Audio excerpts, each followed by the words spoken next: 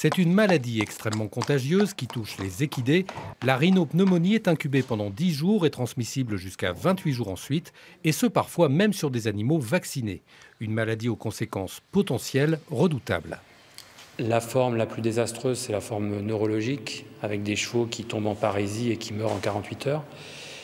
Et puis une forme préoccupante dans l'élevage, c'est la forme abortive où les juments avortent en fin de gestation euh, sans raison.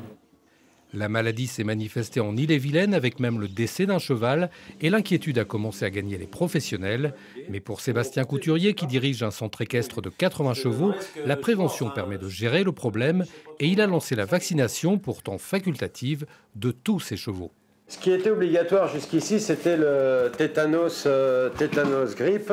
Et puis bon, depuis cette année, on a bien décidé du coup de, de faire la rhino.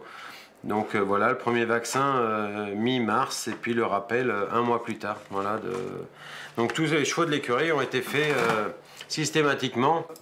La vaccination et aussi des gestes d'hygiène simples mais renforcés pour limiter au minimum le risque de contagion. Les mesures de sécurité, pour nos chevaux à nous, bah, c'est de rester dans les mêmes box, évidemment, de désinfecter les box quand on fait le fumier, quand on cure. Bon, et puis après, bah, le bon sens, c'est de laisser les chevaux entre eux. Tous ceux qui vont bien, il faut les laisser entre eux. Quoi, hein, voilà. Et euh, pour l'instant, touche du bois, il ne s'est rien passé. Certains rassemblements et compétitions ont aussi été préventivement annulés car ils auraient nécessité de trop grandes contraintes d'hygiène.